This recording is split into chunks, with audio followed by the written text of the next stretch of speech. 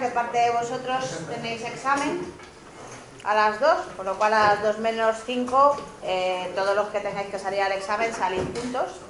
Intentaremos hacer una parada técnica.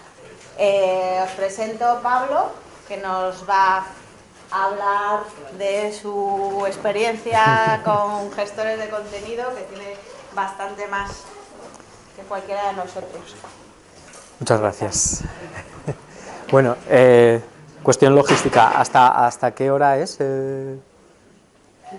o menos una hora. una hora, ¿no? Desde ya, vale. Bueno, primero disculparme porque no sé cuánto voy a tardar, ni me voy a quedar corto porque es la primera vez que hago esta presentación, entonces, bueno. Segundo, espero que si tenéis cualquier pregunta, voy a soltar aquí muchas palabrejas y cosas de estas de mundo de la empresa, que yo tampoco a veces las entiendo muy bien. Si queréis pararme, me preguntáis y ya está, ¿eh? Bueno, primero presentarme. Mm, Mi nombre es Pablo Janguren, soy ingeniero superior en, en ingeniería informática. Eh, No estudié en Madrid, estudié en Asturias. Eh, bueno, también soy certificado PMP, que eso quiere decir que se supone que sé de gestión de proyectos y tal. Y, básicamente mi carrera profesional he estado trabajando 10 años más o menos en empresas como Accenture, consultoría, en BBVA GlobalNet también consultoría dependiente del BBV, en otras empresas pequeñas de consultoría, como Trilogic. Luego he estado también varios años en Páginas Amarillas Highbook, que es una, bueno, es más alto. Es una multinacional que, a la que pertenece Páginas Amarillas. Ahí he estado trabajando durante más de tres años como responsable en gestores de contenidos. Y ahora actualmente pues eh, no hago nada de esto, me dedico a investigar dentro de la Complutense en un proyecto europeo. Y bueno, por empezar a meter nombres de productos y cosas eh, feas, pues mi experiencia en gestores de contenidos pues ha sido en LifeRay varios años, en Oracle, Fatwire otros tantos, al fresco y bueno, en general soy javero, ¿vale? Por si... Bueno, poco. Objetivos que me he planteado para la presentación, un poco es, pues nada, como este, estas asignaturas de software corporativo, pues un poco intentar salirme de lo que es ingeniería y contaros o plantearos muchos conceptos de, de empresa y para que tengáis un contrapeso. Luego, distinguir un poco los conceptos de gestión de contenidos que se hablan mucho en el mundo de la empresa. Presentar un poco la arquitectura general de un gestor de contenidos, que posiblemente ya la sepáis por lo que habrá- hayáis dado en clase. Y un poco estudiar cómo es un proyecto de implantación de un gestor de contenidos en un entorno empresarial ya grande. Luego, mos- mo- mostraros muchos acrónimos, o sea, que no sé si los sabréis ya, pero bueno, típico en la informática se da mucho el tema de los acrónimos y en las empresas ya ni te cuento. Luego intentaré hablar poco, que me suelo enrollar bastante, y luego que esto pase rápido para que no se haga pesado. Bueno, entonces aquí, para empezar, yo cuando me planteé dar la charla de cómo, cómo hacerla, lo primero es, lo primero que seguramente todos os ha pasado al oír hablar de gestores de contenidos es, es, bueno, ¿para qué necesito un gestor de contenidos? no? Entonces, yo lo que os pregunto es si alguien ha construido alguna vez una página web, ¿no? Y otra cosa, ¿cuál es tu primer recuerdo de, de interactuar con Internet? No sé, que alguien, si alguien quiere decir algo, si no sigo, ¿eh? No sé, pero ¿alguien ha hecho alguna página web eh, a mano? ¿Alguien ha usado gestores de contenidos? Sí, algunos, vale. ¿Y para qué habéis usado un gestor de contenidos? ¿Eh? Ahora están, ya, ya, ya lo sé, pero bueno, poco. ¿Y para qué os ha servido el gestor de contenidos? ¿O para qué creéis que os sirve? ¿O le, veis utilidad o creéis que... Vale. ¿Os, os facilita la vida? ¿O hasta ahora decís, joder, para hacer una página web, dos, dos páginas, llevo aquí la vida? No sé, ¿vale? Ok, bueno, eh, eso es la, la primera cosa que quiero dejar ahí. Pero realmente, ¿cuándo, ¿para qué necesito un gestor de contenidos? ¿no? Y luego, bueno, antes de entrar a esto, ¿cuál es vuestro primer recuerdo de Internet? Porque, bueno, vosotros sois un poco más jóvenes que yo. Eh, yo conocí Internet desde que empezó.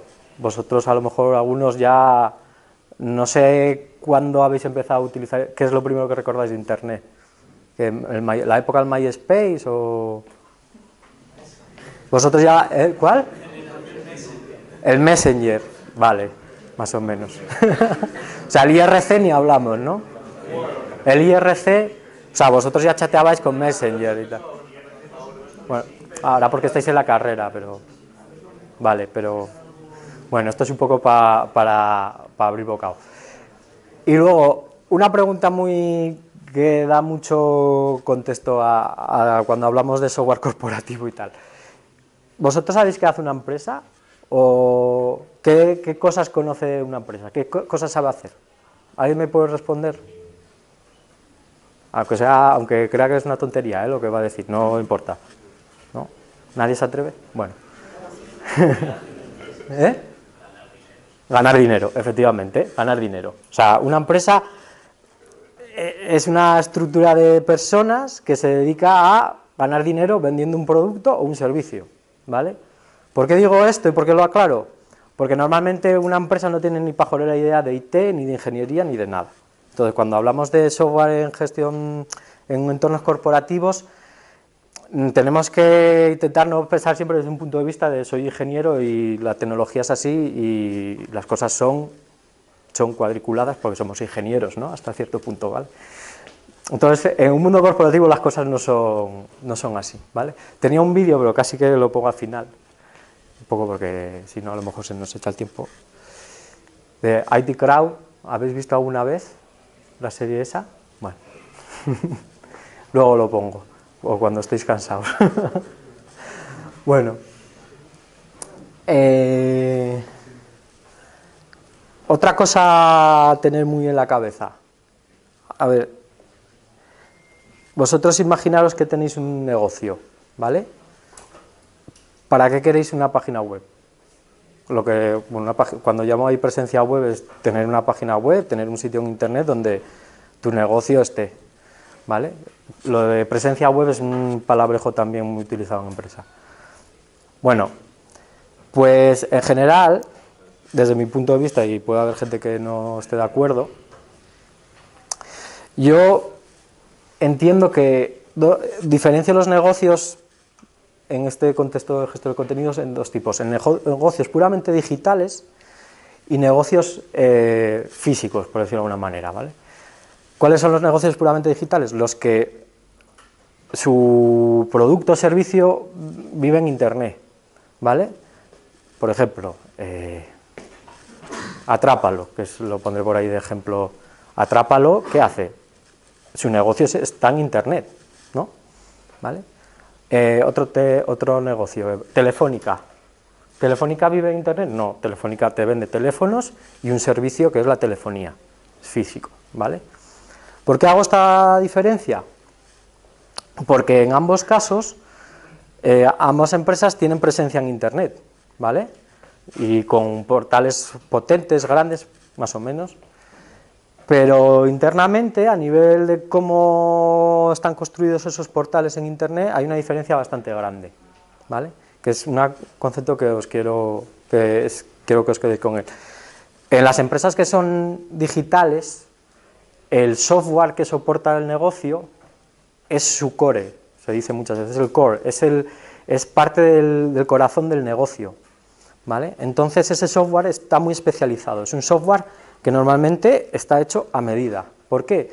Porque su negocio es muy particular y es muy diferente al de los demás, o intenta ser diferente a sus competidores.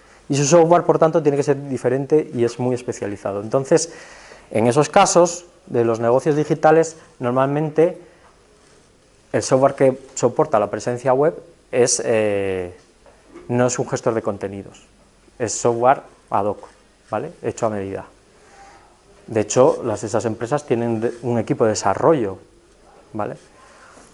En cambio, los negocios físicos, eh, pues, oye, ellos quieren estar en Internet pues, para vender, para proveer parte de su servicio, como parte de publicidad, estrategia de marketing y tal, pero, no neces pero vamos, la herramienta con la que hacer el portal web o su plataforma web no tiene por qué ser hecha desde cero a medida, porque le vale, le puede valer servir un paquete, un gestor de contenidos, ¿vale? Entonces esa es una diferencia a tener en cuenta, muy importante, para contextualizar. Entonces, no estamos hablando de cómo montar una página web, un sitio web en general en Internet, sino en aquellos casos en que una empresa necesita tener una presencia en Internet y entonces, bueno, recurre a decir, bueno, no voy a hacer una página web de cero, voy a recurrir ya a un software que está prefabricado a cierta medida y lo voy a adaptar. Bueno, esto de la palabra de los portales webs, que es un poco... hay sitio web, portal web, etcétera, etcétera, pero la palabra portal web es lo que la palabra de donde nació todo, por decirlo así, ¿vale? ¿Y cómo nació? Bueno, pues esto ya es muy viejo. Al principio la web pues era el HTML estático con enlaces, aquello era muy cutre, ¿vale? Eh, y era una comunicación muy unidireccional. Tú, alguien ponía la página web y tú entrabas y veías, ¿vale? Pero tú como usuario simplemente pedías información.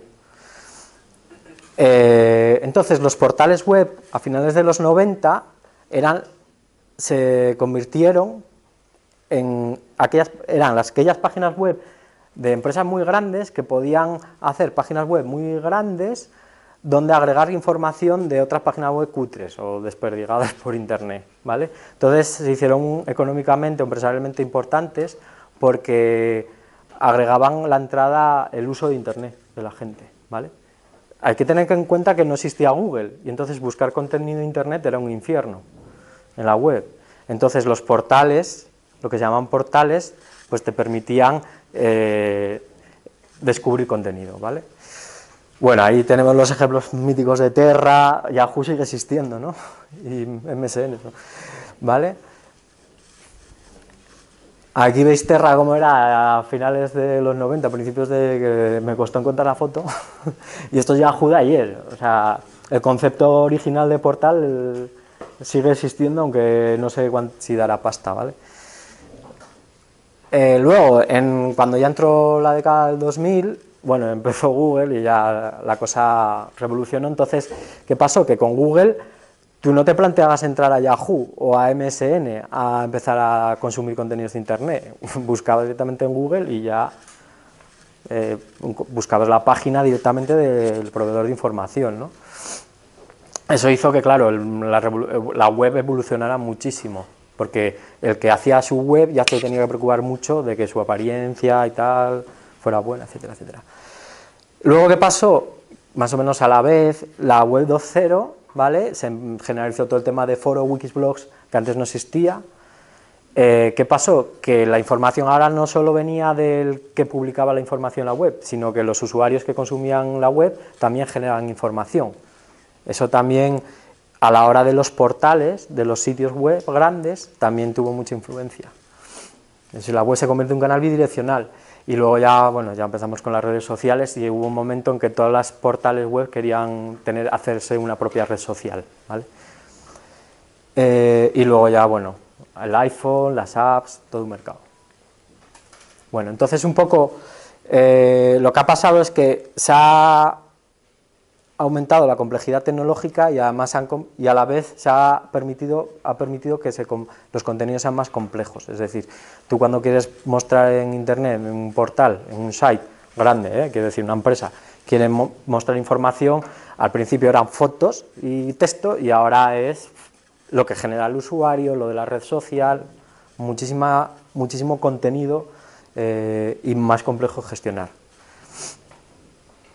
Bueno, creo que esto es un poco infierno, ¿no? esto es un poco resumido, pero evolución de tecnológica. Va a controlarme por si acaso. Eh, la web estática, la web dinámica, CGI, no querráis saber qué es eso.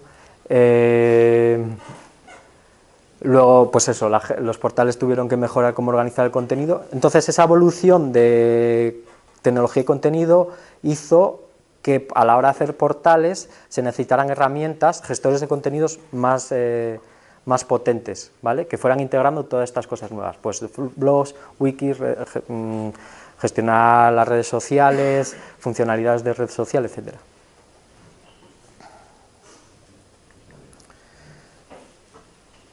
Otra, otra forma, otras palabras que se oyen mucho cuando hablamos de portales web, de empresas, son eh, lo que son oír de portal horizontal versus portal vertical, ¿vale? Muchas veces ya en, en el mundo de internet, este es un vertical de promoción de Navidad, de tal. ¿Qué quiere decir esto? Bueno, esto no es blanco-negro, ¿vale? Pero normalmente portal horizontal significa un sitio web donde el contenido es muy amplio, ¿vale?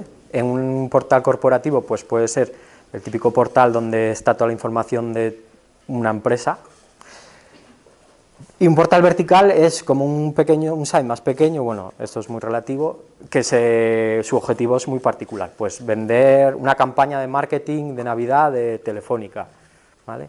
el portal de la fundación, bueno, de Telefónica. Bueno, pongo esto porque son ejemplos que he sacado, pero creo que, bueno, ahora os enseño algunas, algunos ejemplos. Bueno, estas definiciones son, son bastante buenas, ¿no? Los horizontales integran y agregan información de diferentes aplicaciones dentro de la empresa y de diferentes líneas de negocio, tela, ¿vale? Es decir, si os pensáis, por ejemplo, Telefónica, Telefónica vende de todo, pues, y tiene de todo, desde su gestión de la línea, eh, la canal móvil, el canal en casa, la, televisión digital, toda esa información la pone en un portal y, el portal te ofrece servicios de todas esas eh, diferentes productos y áreas de la empresa, ¿vale? Eso es horizontal. Y vertical, pues, se focaliza en proveer acceso e interacción a una aplicación específica o parte del negocio específico. Ya os digo que es para que sepáis la palabreja. A veces no, no, es claro.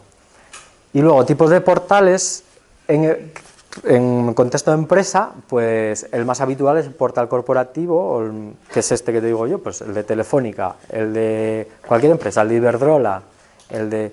¿vale? Puede tener información más de servicio o más de información sobre, yo qué sé, puedes ir a Iberdrola y te hable eh, accionistas, eh, responsabilidad social corporativa, son temas más de la empresa y otra puede ser tu espacio de factura, ¿no? o de saber qué productos tiene. La extranet suele ser en los portales de las empresas la parte eh, donde tú te puedes tienes un usuario y puedes interactuar con, el, con, la, con la empresa. La intranet es el portal web pero, de la empresa, pero que ven los trabajadores de la empresa. ¿vale? Es aquí como el campus virtual que tendréis aquí. Eso es una intranet. Que no tiene, nada, no tiene por qué tener nada que ver con el portal corporativo público ¿no? de cara al exterior. Luego, microsites, pues serían como una empresa puede tener necesidad de hacer un pequeño site para una cosa, ya sea interno, externo, público, lo que sea, que es un poco como un vertical, como decía antes. Y luego ya el mundo de portales se, ha especializado unos, un tipo de gestores de contenidos para hacer portales muy específicos que son los e-commerce, ¿vale? Eso es, bueno, todos conocéis lo que es un e-commerce. Cualquier página web que te venda producto. Hago un ejemplillo así para distinguir. Este, la página de Coca-Cola, entras en coca-cola.es, es como el portal corporativo, ¿vale? Es Coca-Cola es la marca, pero también es, engloba todas las marcas, es un holding de marcas, ¿no? Entonces, si bajas abajo de la página de la home de Coca-Cola, ves abajo todos los productos. Entonces, todos estos productos, eh, pues tienen su look and feel, cuando entras en su página web, tienen su look and feel diferente y tal. Pero normalmente están hechos sobre la misma software, sobre la misma infraestructura tecnológica. Coca-Cola no va cada vez que tiene que hacer levantar un, portal de una marca va a pensar qué, gestor de contenidos utilizo o qué software. Él tiene un paquete de gestor de contenidos instalado y cuando necesita levantar un nuevo producto ya tiene su infraestructura, software. Esos son verticales. Los hay de marcas y estos son de pues, fundación, promociones, la Copa Coca-Cola, yo qué sé, cosas que tienen. ¿vale? Es decir, que una empresa grande en su momento de tener presencia web necesita el gestor de contenidos, ¿eh? o gestor también se llama gestor de portales, pero gestor de contenidos que le ayuda a hacer portales, no es para hacer un portal, es, necesita una herramienta muy potente para desplegar mucho, muchos sitios web, ¿vale? De ahí viene la, necesidad de buenos gestores de contenido. Esto es atrapa, lo que es lo que decía antes, este pues posiblemente no tenga un gestor de contenidos por debajo, sea una aplicación web hecha a medida, ¿vale? Y este típico e-commerce que hoy en día han evolucionado, hace ocho años pues eran, había cuatro motores de gestores de contenido de e-commerce, ¿no? hoy en día hay muchísimos, han evolucionado muchísimo. Se personalizan muchísimo porque evidentemente cada marca se quiere diferenciar, pero muchas veces por debajo son, los motores son comunes, ¿no? común. Bueno, a ver un poquillo.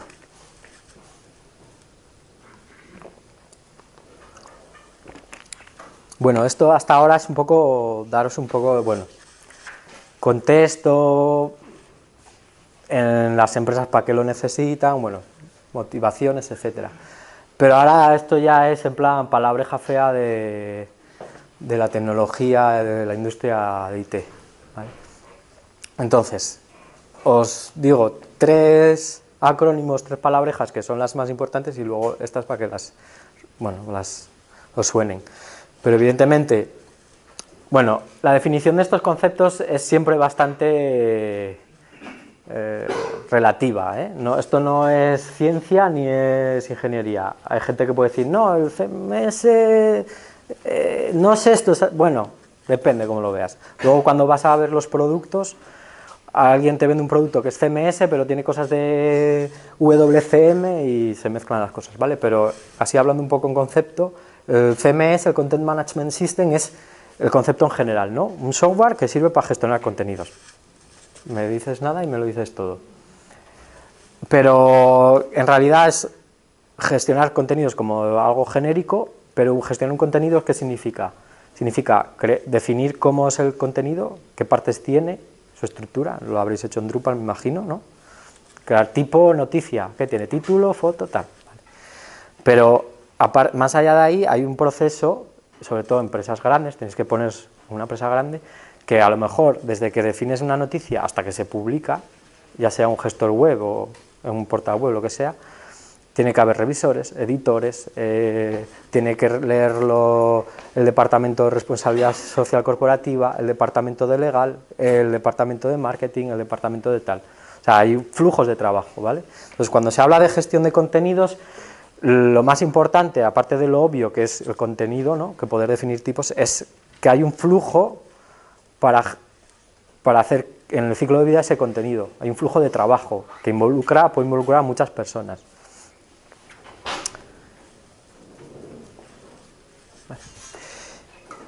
Entonces, en general, cuando no hablamos si ese contenido se va a consumir en la web o, yo qué sé, en general un libro, se habla de CMS en general.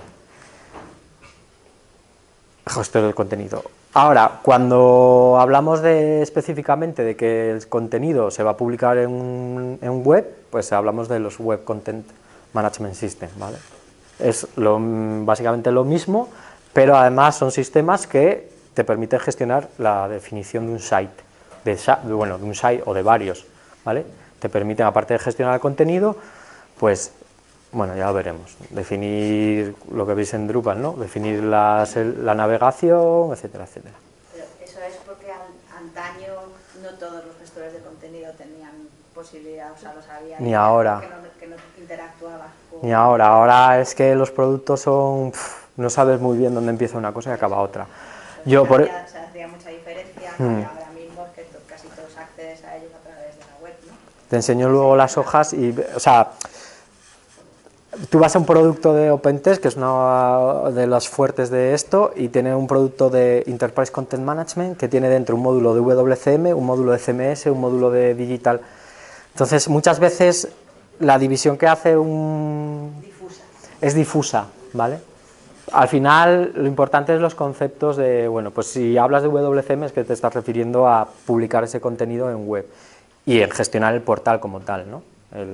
Las páginas, la apariencia, la navegación.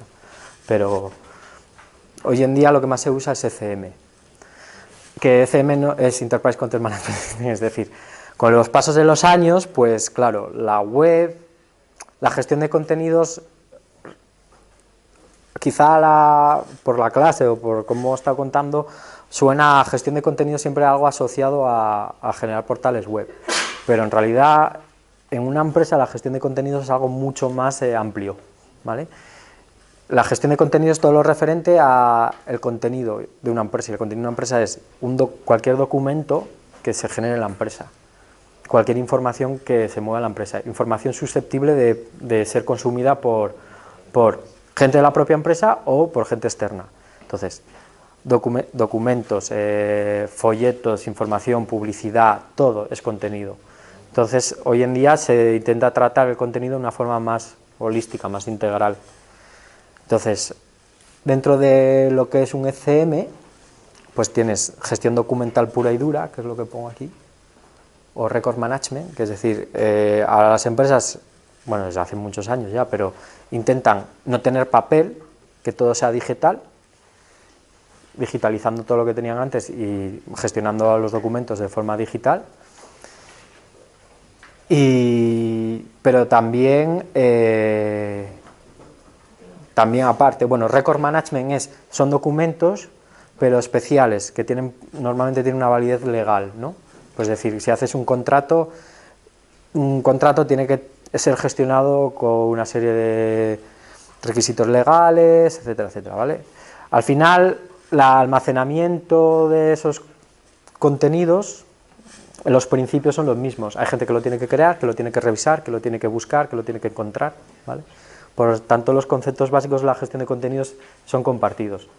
Luego es verdad que un documento, si tú haces un contrato por internet y lo quieres descargar, o vas a Telefónica o a tu compañía y te descargas tu factura, la factura es, parte de la gestión documental, pero está integrada con la gestión web, la gestión de contenido web, o sea que al final todo se mezcla. ¿no?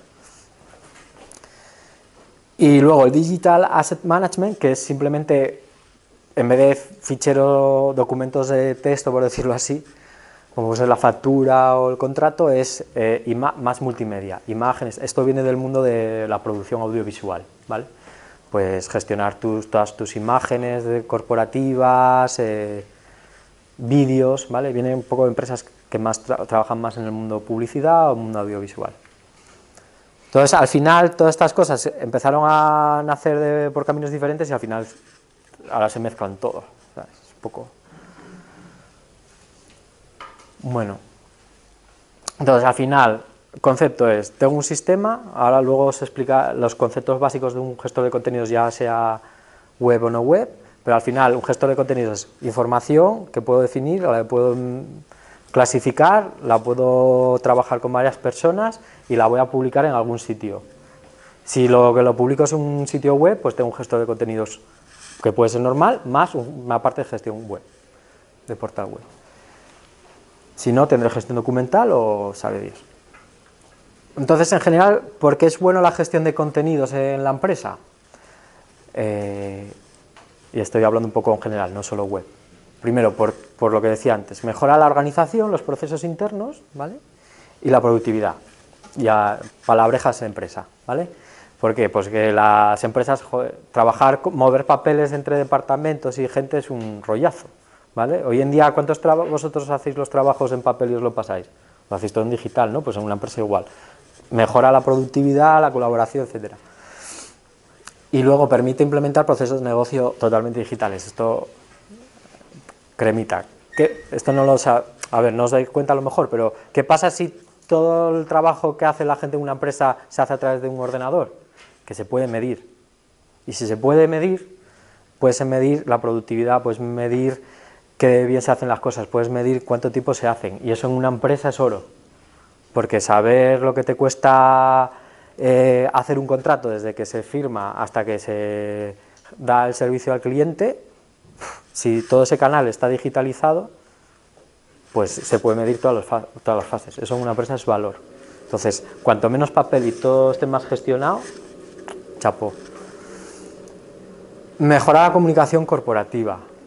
Bueno, pues es más fácil mandarte un correo con un enlace que no mover un papel. ¿no?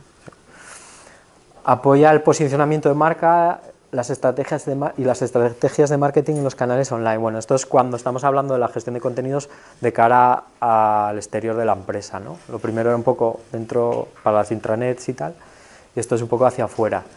Al final, estar en internet, una empresa lo quiere para qué, básicamente? Pues para que la gente los conozca mejor, es marketing, intentar vender mejor sus productos, y ya sea bueno, es que la diferencia posicionamiento marca y estrategia de marketing. Estrategia de marketing puede ser algo más, tengo este producto concreto y te lo vendo, y una estrategia de posicionamiento de marca es, soy Movistar y como parte de Movistar tengo una estrategia de cómo creo que mi marca se tiene que ser vista por todo, por todo el mundo, entonces la web es parte de esa experiencia de la marca, igual que entrar en una tienda, ¿no? Entonces, ahí a nivel de negocio es muy importante eso. Aquí hablo un poco de lo de antes, digital versus no digital. Luego, acercar el canal a usuarios no técnicos, es decir, en una empresa, si para publicar algo en internet tienes un sistema muy hecho a medida, a lo mejor si quieres publicar una noticia o cualquier cosa para hacer eso necesitas que los informáticos del departamento de informática te hagan un parche al software y lo desplieguen, pues, pues claro, hace que las cosas sean muy lentas. Los gestores de contenidos ayudan a que gente no experta en IT, no ingenieros, no desarrolladores, puedan interactuar con Internet, es decir, puedan publicar cosas, etcétera, etcétera, sin necesidad de, de, programar, ¿no? de hacer cosas muy técnicas.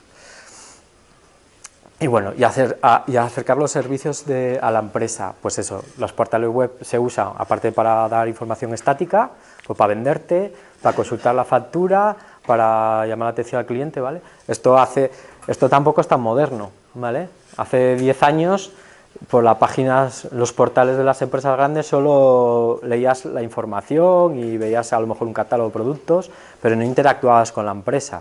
Para interactuar tenías que llamar por teléfono o ir a la tienda. Hoy en día los canales se integran, es decir, lo físico con online, la experiencia se quiere hacer integrada. Para eso se necesitan buenos sistemas de gestión de contenidos y portales. La pregunta del millón.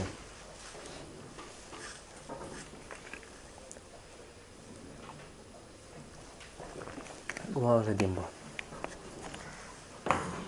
Eh, construyo, lo que decía antes, ¿construyo mi portal web o, uso un software web desde cero o uso un software base? Evidentemente para una empresa nunca va a usar un, salvo que su negocio sea puramente digital, va a usar un portal web, le muchas cosas.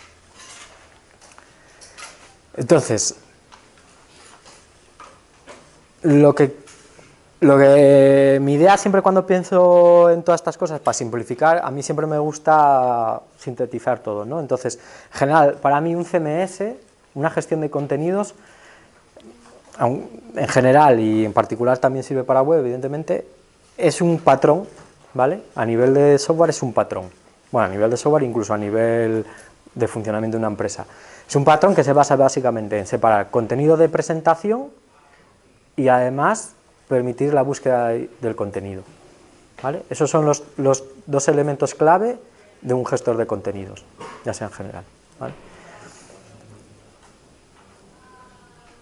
¿Por qué? Bueno, un patrón, porque es bueno, porque, a ver, ya en el mundo de Internet ya sabes que para hacer una web necesitas, quieres separar el contenido de la presentación, mucho más fácil gestionar las cosas por separado, y si tú tienes, haces un site muy grande, necesitas dar acceso, poder permitir a los usuarios que busquen. Es que hoy en día, quien, si no tienes el buscador arriba, parece una tontería, pero es que eso es la base, ¿no?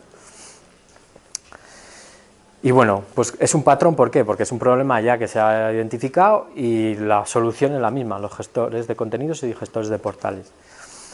Te permite a las empresas focalizarse en el problema, su problema, la empresa, como decía antes, su problema es, o su objetivo es ganar dinero, entonces no quiere liarse a hacer software, quiere ser rápido en poner algo en internet. Eh, evidentemente tiene menos coste que hacer algo ad hoc, aunque siempre hay que personalizar y, y, configurar, ¿vale? Os estáis pegando con Drupal, a que mola, ¿eh? Pegarse con instalarlo y tal, ¿no? no, en realidad no tienes la página web hecha, tienes que hacer muchísimas cosas, pero bueno. Entonces aquí voy a repasar un poco todo el chorreo de cosas que creo que tiene que tener, ahora ya en particular un gestor de contenidos web, ¿vale? Eh, creo que más o menos todos lo sabéis, si os llama algo la atención, por favor me, me decís. Pues ¿Qué tiene por un lado? El motor de presentación, por llamarlo de alguna manera, que es la parte de gestionar la presentación por un lado, que, normalmente es tener plantillas, ¿vale? El plantillado, que son plantillas, eh, trozos de HTML que se pueden componer, ¿no? Eh, también te tiene que permitir gestionar los CSS globales de un portal de forma efectiva, para poder luego compactarlos y hacer cosas de estas. Te tiene que permitir también gestionar bien los recursos estáticos, fotos, vídeos, ¿vale? Porque esos siempre van, digamos, por otro lado. Y tiene que tener, un buen motor de navegación, que es el que te permite controlar si solicitas una página donde vas y definir la, estructura del site y tal, ¿vale? Esto, más o menos, yo creo que en Drupal, ¿no? Lo habréis visto, no tiene... Gestionar el contenido, pues eso, poder definir tipos, y la gestión, que es lo que decía, poder trabajar con él en workflows, en flujos de trabajo con gente. Normalmente es muy importante gestión de versiones de los contenidos, no sé si Drupal lo habréis visto, poder meterle metadatos, evidentemente los metadatos es toda la información que añades al contenido para poder buscar, ser encontrado por el buscador y etcétera, etcétera, saber quién es el creador. Y bueno, y y si tu gestor de contenidos es muy guay, se podrá integrar con los procesos de negocio de tu empresa. ¿Qué quiere decir esto? Que ese flujo de trabajo para, para editar el contenido y revisarlo y tal, pues las empresas normalmente tienen sistemas para gestionar esos flujos, muy, sistemas muy grandes, y entonces integras el gestor de contenido con tu sistema de gestor de, de procesos de la empresa y funcionan a la vez. Entonces, cuando alguien da de alto un contrato en el sistema de contratos, eso se conecta al gestor de contenidos y le manda una copia en PDF, por ejemplo. Y luego, ¿vale? cuando el de gestor de contenidos lo aprueba, eso le pasa, la, le pasa el OK al de, al, de, al de legal. Y son sistemas separados. Como digo, motor de búsqueda tiene que estar integrado y bueno, en un gestor web ya tienes que tener ayudas al SEO, ¿vale? Friendly URLs, no sé si sabéis. Eh, generación automática de los sitemaps para que los buscadores te encuentren y tal. Ahora bien, aparte de eso, que son las características más, más básicas y que tienes que tener, hoy en día no se entiende un gestor de contenido sin esto, ¿vale? Sin esto, ¿qué es? Poder construir formularios, ¿vale? Fácilmente y volcar la información de los formularios a contenidos. Parece una tontería, pero poneros a hacer un formulario y, ostras, que tengo que picarme el HTML la mano y tal. No, pues yo defino un tipo de contenido y puedo definir formularios que se pinten muy fácilmente con plantillas y que cuando se reciba el contenido lo meto en, lo meto en mi gestor de contenidos. Bueno, poder integrar el portal con servicios corporativos, es decir, hoy en día las páginas web mm, no tienen información estática, mucha de la información que aparece es dinámica y depende de de otros sistemas de la, de la organización de la empresa, lo de las facturas, lo de, yo qué sé, eh, que te saque una gráfica de tu consumo en Telefónica o yo qué sé, o de tu consumo de electricidad o no sé, o de tu banco, tu banco es un caso muy claro, ¿no? Que te saca el listado de movimientos, eso no está en el, en el ordenador, en el gestor de contenidos, eso está en los sistemas de, de backend del banco. Entonces, el software del gestor de contenidos tiene que poder conectarse con otros sistemas a través de servicios web o directamente a base de datos y poder hacer que trozos de la página web sean independientes y accedan a esos datos de forma independiente. Aparte de que de forma segura, bla, bla, bla, bla, bla, mil historias más. Palabrejas, ¿vale? Redes SOAP. Luego tiene que tener hoy en día muchos módulos preconstruidos. Bueno, Drupal creo que tiene un, es muy bueno porque tiene muchísimos plugins que te dan ya cosas ya hechas, ¿no? Si quieres un blog, wiki, redes sociales, entonces es una manera de dar, añadir mucha funcionalidad construida, ¿vale? Y no tener que picarla tú sobre tu propio gestor de contenidos.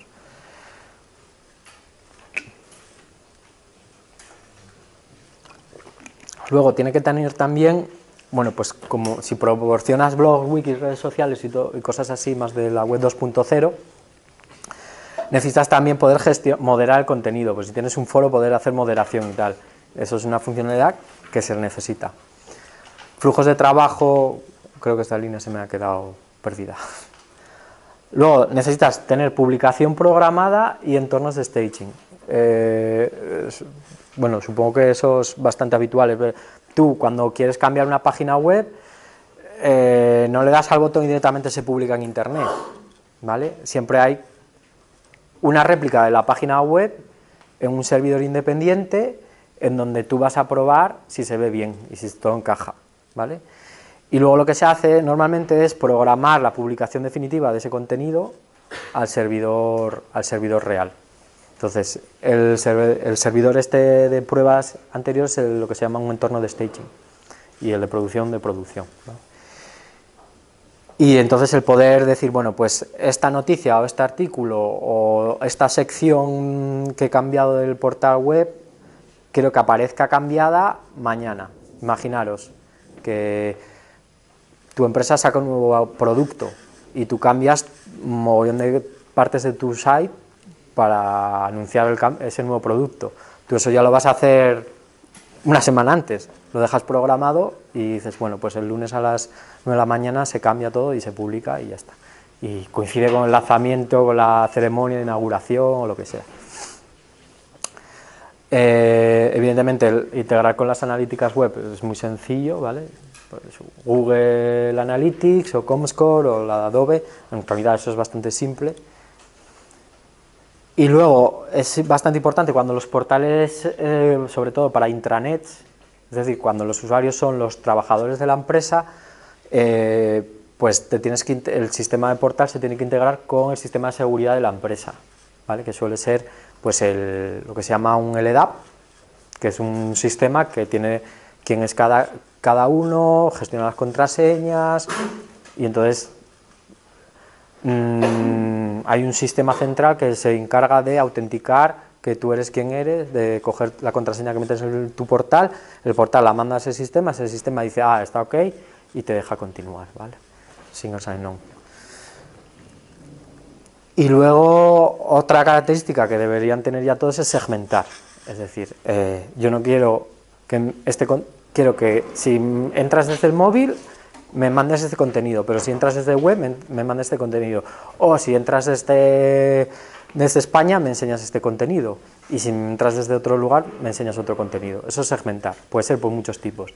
Hay sistemas de segmentación más inteligentes que ya tienen, conectas tu portal, gestor de portales con un servicio de, de, segmentación de usuarios, o sea, estas empresas de Big Data que recogen información de los usuarios, te perfilan, y entonces te conectas al portal de una empresa, te pasan las cookies y cosas feas por ahí al servidor de la empresa de segmentación y dicen, mira, este tío que te entra a tu página es de tipo no sé qué.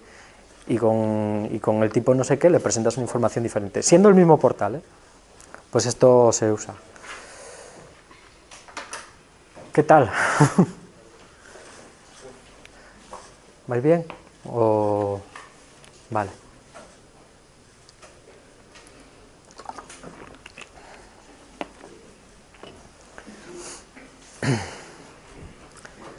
Bueno, pues esto, este es un poco un resumen, un diagrama de los componentes lógicos que tiene un software de gestor de contenidos para portales, ¿no? para hacer portales web.